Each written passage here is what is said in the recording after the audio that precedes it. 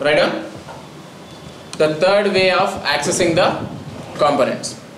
That is get elements by name.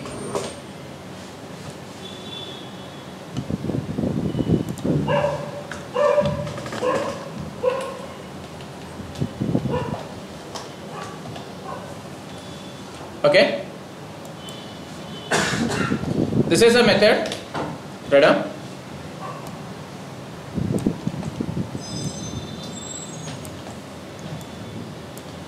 which is meant for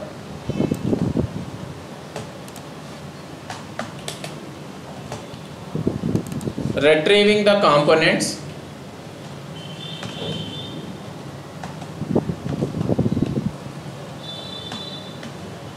or grouping the components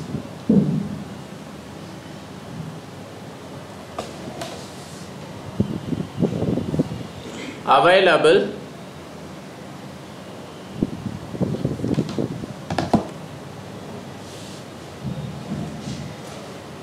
hmm, available with the same name.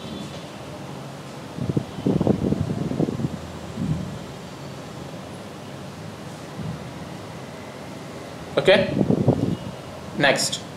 It will group the components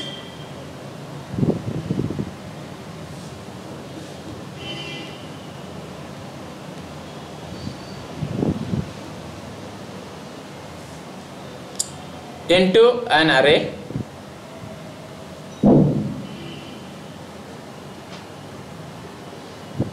With unique index.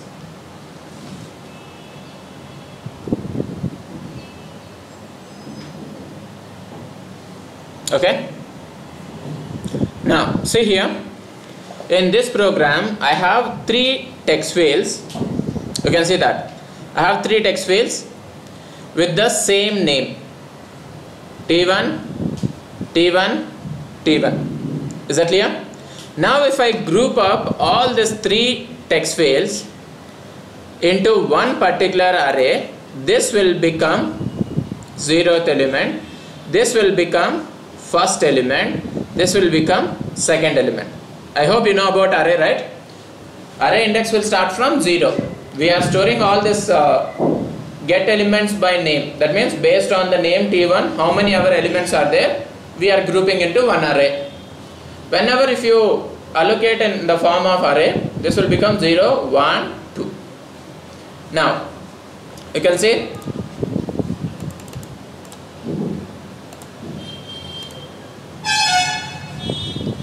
here uh, after grouping document dot get elements by name t1 of 0 that means I am referring to this component capturing the value converting into integer storing into a. Get elements by name t1 of first index. Means it refers to this one. Capturing the value converting into integer storing into b.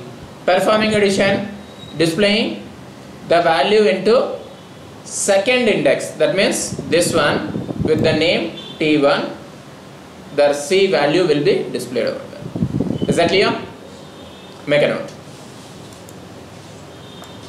And this is not fast compared to document get element by id but the concept is there. In some scenarios you will not be having ids so if you need to refer based on the name in the sense you can go in this fashion. Clear